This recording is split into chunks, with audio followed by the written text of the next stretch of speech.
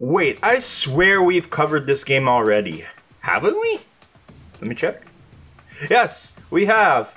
But now we have a new version and a brand new trophy set for this beloved game, so of course you know I'm gonna have to cover it again.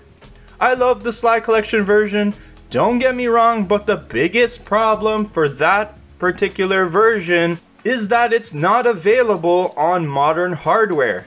Yes, you can play it on PS4 and PS5 through PS Plus Premium, but only through streaming, arguably the worst way to play it.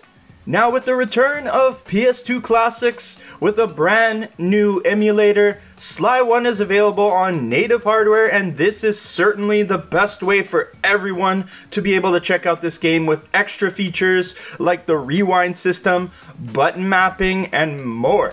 Plus, we got a new trophy set that I think might be the best Sly Cooper Platinum we have covered so far. We're going to have to dive in fully for you to see that, but I think this version's Platinum run is stellar. So how many times do we have to do this, old man? Bird? Owl? Never mind, let's just get the van and rob these bitches already.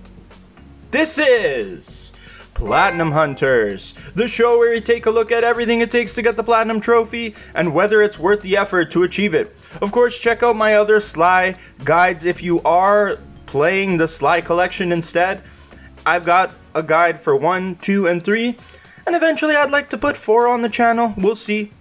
Definitely check those out and of course subscribe for more trophy guide videos just like this one because you might just find your next platinum trophy.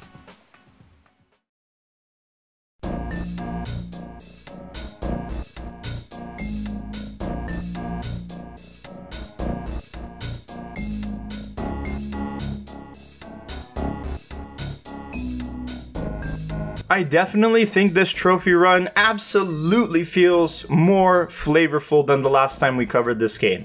Some cool environmental trophies were just what this platinum run needed, as Sly 1 HD had a grand total of none of those. Now, where you might disagree with me is the inclusion of a trophy for completing Master Thief sprints.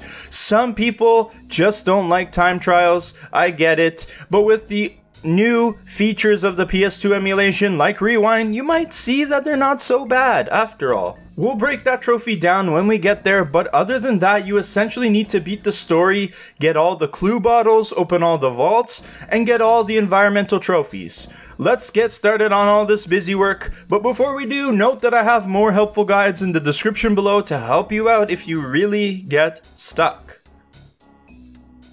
Alright, time to start stealing trophies and whatever else I can get my raccoon paws on.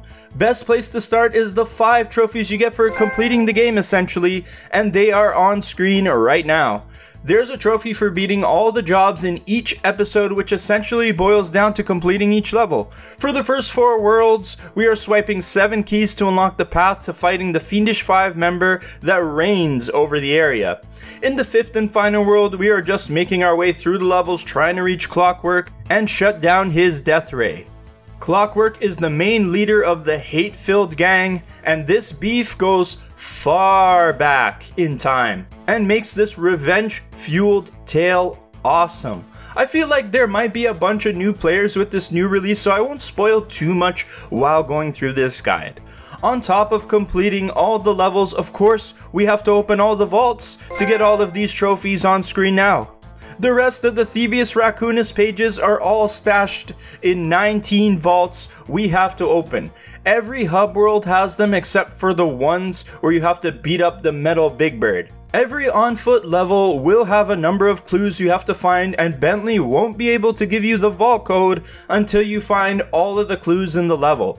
An easy trophy to get is the Get a Clue trophy where you need to collect 5 clue bottles which you can handily do in the first level after the tutorial. Also note that you won't be able to open your last vault until you defeat the last boss and finish the story.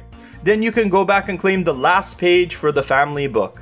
If you're having trouble with a certain level's clue bottles, what you can do is unlock the operation blueprints from the vaults, and then you'll be able to see the bottle locations in your Binocucom going forward. The blueprints will always be given to you from the third vault in every area, and then finding the rest of the bottles becomes trivial and you won't need an outside guide. There are also some trophies you unlock for collecting and using new Cooper family techniques that are given to you with every page you collect from the vaults. First trophy you can get is the Share What's Mine trophy for defeating two or more enemies with the same mine. After you open your seventh vault, you will receive Rob McCooper's patented explosive hat technique, which can be thrown down and used as a mine. Then you just need to place it in the path of two enemies and boom, double kill. This next technique is extremely useful. No More Beaches for Sly is the trophy for discovering Suzanne Cooper's water safety technique in your 10th open vault. Now, when you fall in water, you won't lose a horseshoe or drown. That is helpful. There is even one for falling off ledges, making you way less likely to die. You get the Super Cooper Trophy when you open your 14th vault and discover how to do Sir Augustine of Cooper's Defy Gravity technique. Now you can throw yourself off of cliffs for fun and you will just pop back up to where you fell. Both of these are seriously useful power ups. Lastly, when you get Bruce O'Coop's hacking technique, you can use it to unlock the Knowing is Half the Battle trophy. Go, Joe! This new ability for your Binocucom lets you see the names of all the grunts in the level, which is pretty cool. But for the trophy to pop, you need to see 10 different enemies' names using the new upgraded Binocucom. All of these new cool abilities are one of my favorite parts of the game, with the other being our next subject of trophies the boss fights. Damn, do I love the boss fights, and there is a trophy for beating each and every one of them. The Fiendish Five, the gang that stole the Thievius Raccoonus and tried to end the Cooper family legacy. Your main goal in this game is to take down each and every one of them, and each fight is different from the last especially Miss Ruby's boss, because it is essentially a rhythm game fight to the death. You fight the final member Clockwerk on a jetpack as you have to bob and weave through obstacles while shooting his vulnerable spots. All five of these boss fights are epic and you will have a good time with them. There's one more automatic story trophy after you beat the game called Oh No He Didn't.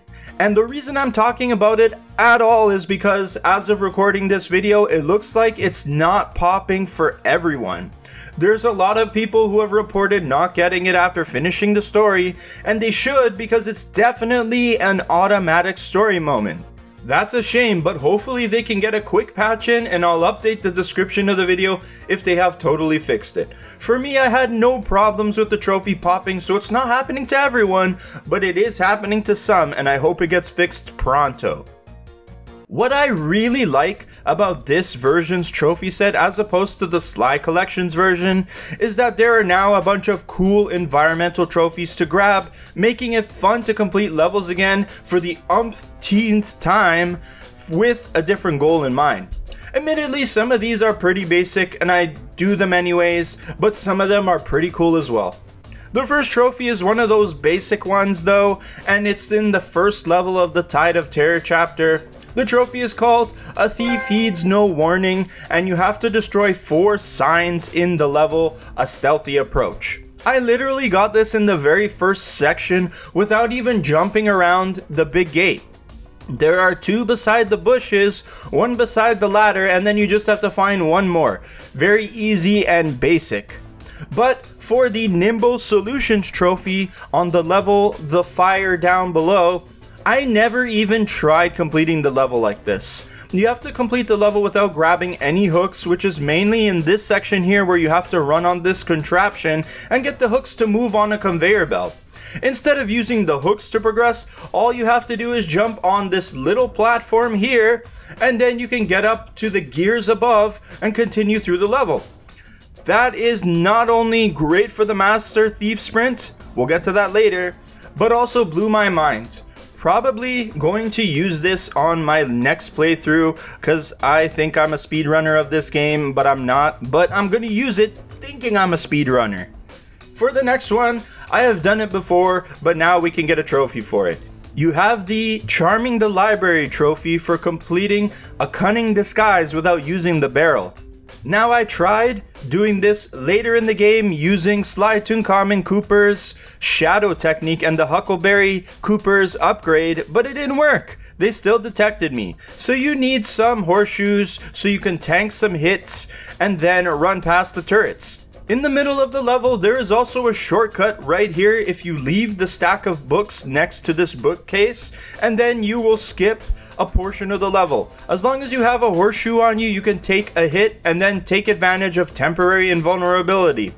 Make sure you go in to the level with a gold horseshoe on your back and close to 99 coins so you can regain another one while playing the level. Then this next trophy is really the one that broke my brain while trying to do it. There is the Through the Fire and Planks trophy in the Gunboat Graveyard where you need to take a shortcut over flaming debris by using the Crow's Nest. The Crow's Nest is this part of the ship at the beginning of the level where you have these three ropes leading to the upper deck of the ship where you can get further up and stand on top of the pole. Then you need to do a leap of faith through these flaming debris coming out of the water and land on a platform behind it. This was a trial and error ass trophy, fam. I found with a lot of my jumps, I just didn't have enough momentum to make it, or I didn't jump at the right angle. The best thing you can do is jump from the dangling rope onto the top of the pole and use the momentum to push you into your next double jump onto the platform across the way. This took a bunch of tries and attempts before I could actually stick the landing and make the jump, getting the trophy in the process. I never thought this would be possible to do, so I'm really pleased with the way some of these trophies were handled.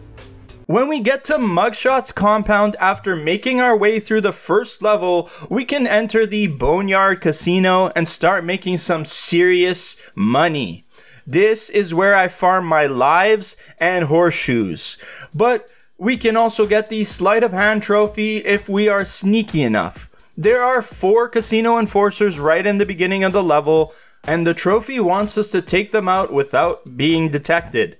That may sound easy, but we can't fully sneak up on them like we can in Sly 2. As soon as you get close, they get alerted and the others come running. So I waited until I got Rob McCooper's patented explosive hat from one of the vaults and used the mines to blow up the guards as they walked by. You can try doing it without it, using the rewind if you mess up, but I found this way much easier. Now that you have broken your way into the joint, we have three trophies to get in the three remaining levels. Starting with Back Alley Heist, we have the What a Pain trophy for destroying 7 panes of glass. Right when you start the level, there are two small ones and one big one. So now you just need 4 more. Break those and then make your way to the midpoint of the level where you can find more of them. If I'm not mistaken, there are about 8 or 9 panes of glass in the whole level, so you have a small cushion if you somehow miss one. Next, we head to one of my favorite levels in the game, straight to the top. I just like how circular the level is, and that your main objective is right where you start the level. But for the Lookout Below trophy, you have to drop 5 of these hanging cars that are scattered throughout the path. Considering each of them have a clue bottle on them, you're going to have to find them anyways. So it's another easy trophy that you can get pretty quickly. Then the final trophy is called The Perfect Date, when you meet up with the lovely Carmelita in Two to Tango.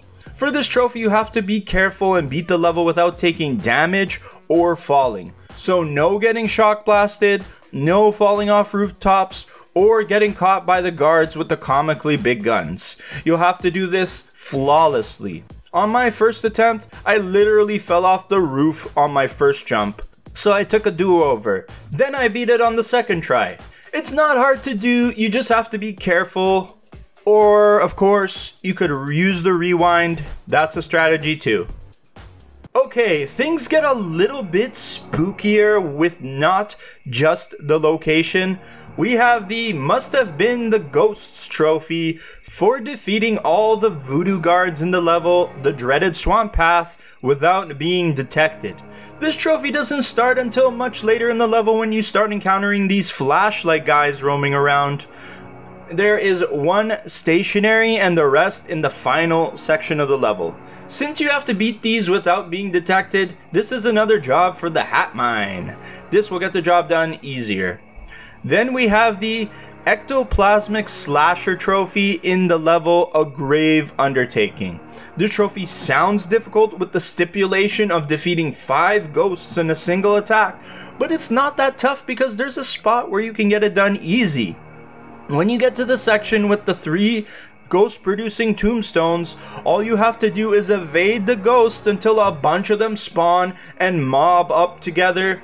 Then, when you have a nice mob of them chasing you, just slap them all with your cane and you'll get this trophy very easily.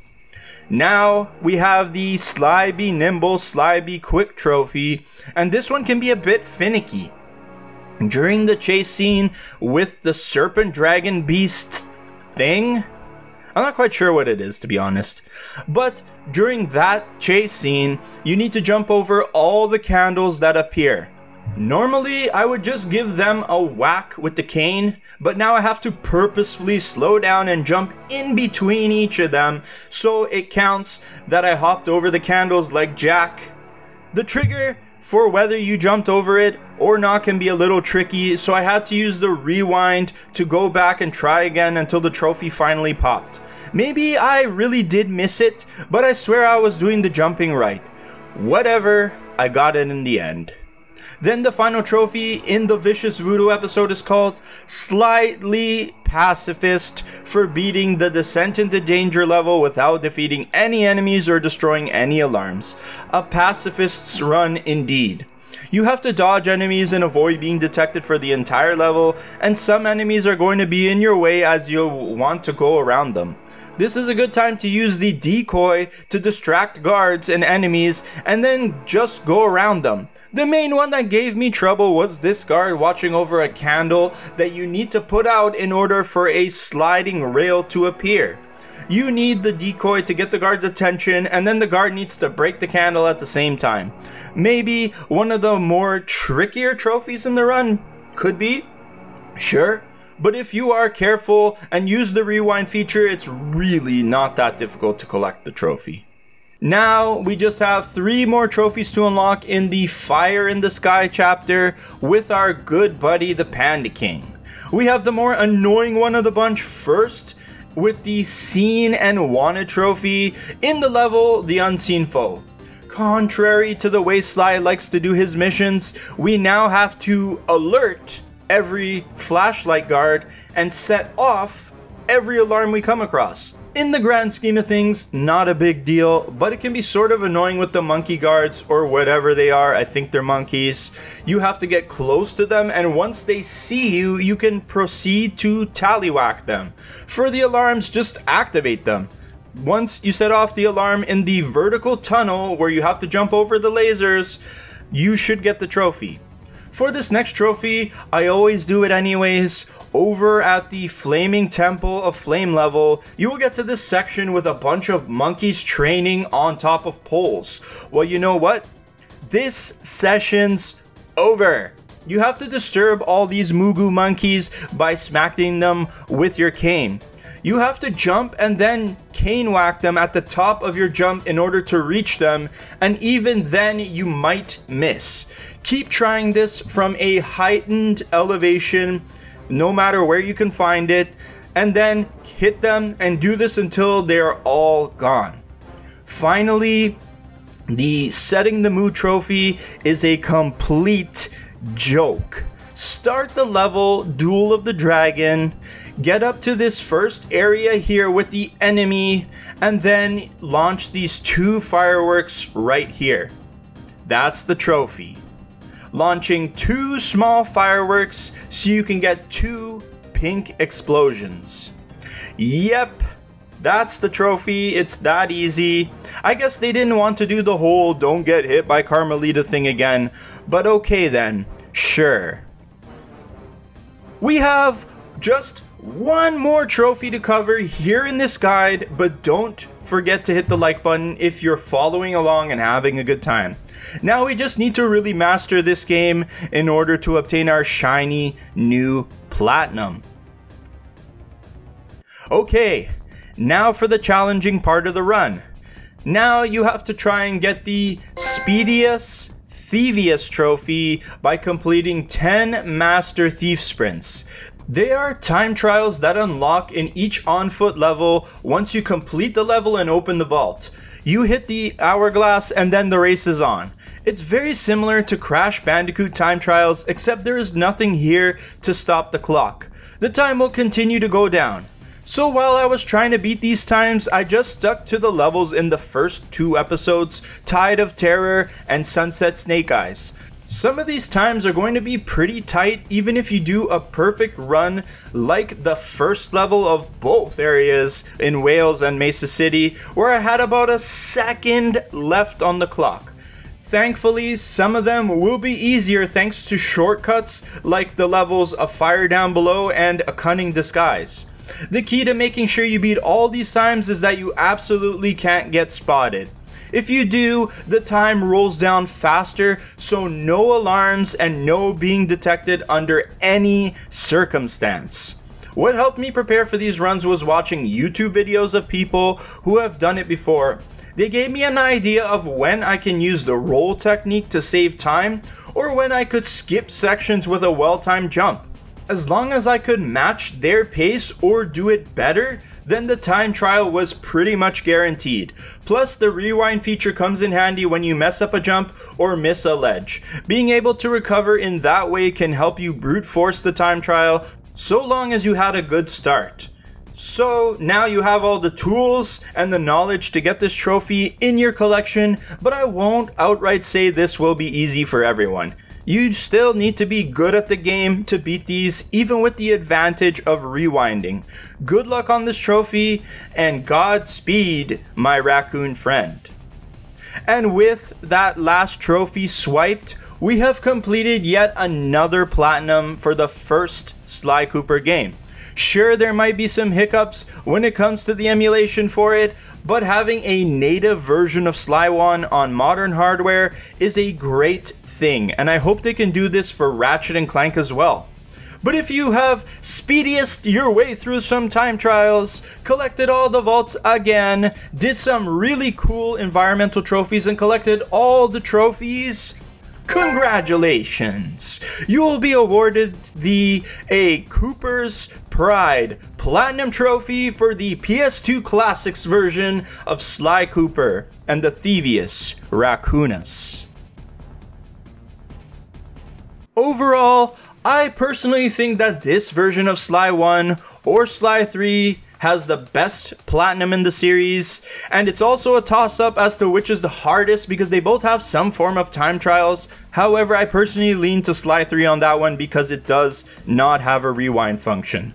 Whether you like time trials or not, I have to give the edge to this Platinum in terms of enjoyability simply because you don't have to lug out the PS3 or settle on streaming it. This version of Sly Cooper and the Thievius Raccoonus is an excellent way to experience this game and get the Platinum trophy even with a few emulation hiccups. As excited as I am to play Sly 2 Band of Thieves in this new format, I must say I hope they save it for a rainy day. There are so many great PS2 games that absolutely need to be re-released on modern hardware, like Ape Escape 3, the Ratchet and Clank PS2 games, the PS2 God of War games. There is a ton of games to choose from, and I imagine Sony will slowly glacially slowly start giving us a bunch of bangers from yesteryear. That's it for this video. Thank you guys for waiting on some really substantial content.